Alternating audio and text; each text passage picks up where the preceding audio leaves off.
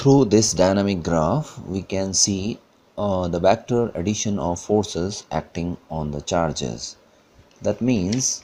the force acting on a point charges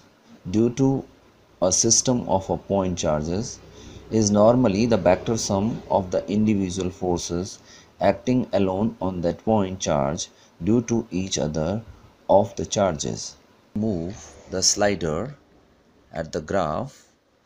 we can see the net force at any charge will be same because the magnitude of force F1 will remain same as of F2 or we can say the resultant can be calculated by law of parallelogram that will says that charge at one corner will repel one another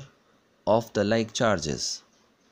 it will be the same for other charges as well.